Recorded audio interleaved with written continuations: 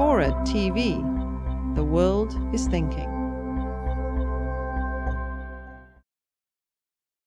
There's a few questions about how you managed to put the different elements in your stories together, particularly about Stephanie Smith. How did you find her? And so we we often when we're doing sort of big stories want to do what's what's called in journalism sort of a narrative style.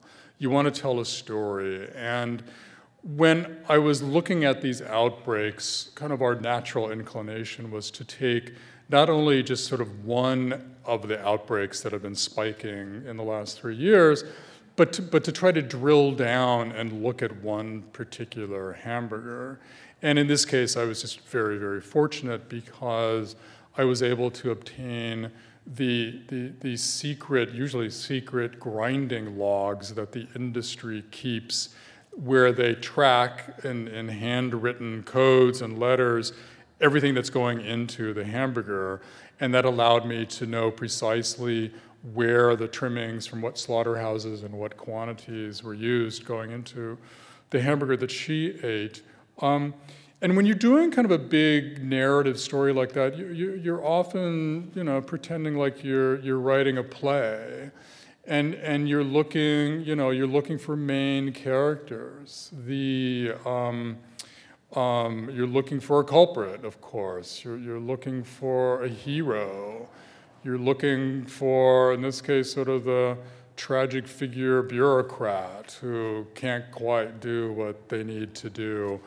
Um, and of course you're looking for uh, you're looking for um, you're looking for a victim and, and, and a face to, to, to really remind people of what sort of the human element is in this. And so in reporting the stories, I interviewed and, and looked at a number of people who were sickened by E. coli. There were young children, there were middle-aged people, and Stephanie struck me as being an incredibly powerful person, not only because of sort of what happened to her and sort of the extreme end of her illness, she after eating the burger, initially thought it was the flu, then was hospitalized within a few days, and had convulsions so severe that her doctors had to put her into a coma and keep her there for nine weeks. And when she emerged from the Mayo Clinic, even, she, uh, she was paralyzed from the waist down.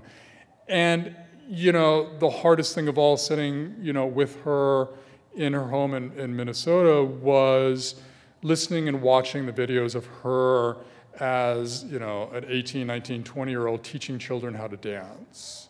So you know you have a young person she's incredibly beautiful having you know having devoted her career to teaching kids how to move and dance you know, sort of no longer being able to walk herself and you know, you need those faces. You need real people and stories in order to carry, you know, the hard, serious, you know, hitting that you're doing on the on the regulations and the, and the conduct by the by the industry.